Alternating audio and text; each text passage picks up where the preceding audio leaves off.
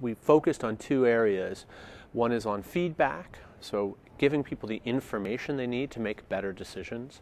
And then the second focus uh, that we did is on uh, motivation. So we're really, really focused on helping the students look at and identify their own self-identified reasons for wanting to reduce resources. So it's very much not externalized, it's what's known as intrinsic motivation. We designed a system of feedback mechanisms. So these include things like the shower orb, which shines and gives us different lighting times to tell the students how long they've been in the shower, dashboard screens, display screens on the walls of their units where they can see all of their energy and water use, messaging, so students get messages, email messages that give them information about the amount of energy they've been using. So what we found uh, after three years of data collection is that there was an effect of motivation as well as an effect of feedback. People who who underwent our motivational intervention, right? So people who were exposed to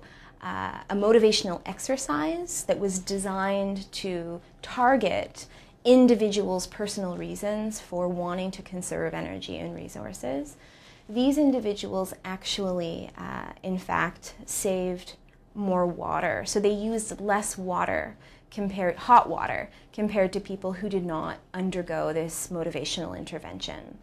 Um, and uh, for electricity, we found that people who received feedback, so, so those students who had the, uh, the screens, the display panels in their living room walls, they actually used less electricity than those who didn't have the continuous dynamic feedback. So 20%, is that important? Well, if you look at the entire United States, um, residential areas use about 20% of the electricity in the United States.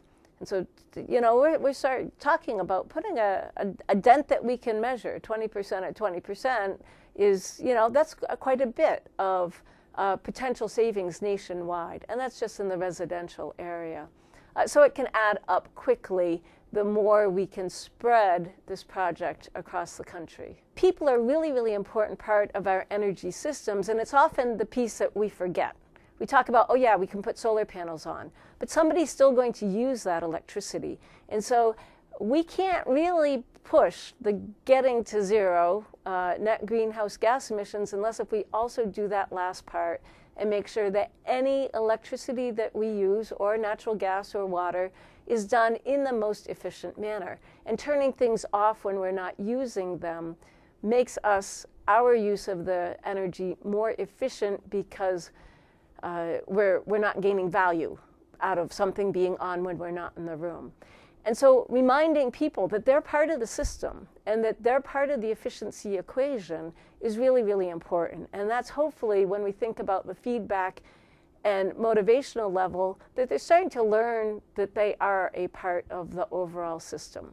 This project would not have been possible with the uh, funding and uh, intellectual support, both from NYSERDA, the New York State Energy Research and Development Authority, and IBM. They both contributed in different ways that enabled us to carry out this very interdisciplinary project that included faculty and students from across Clarkson's campus.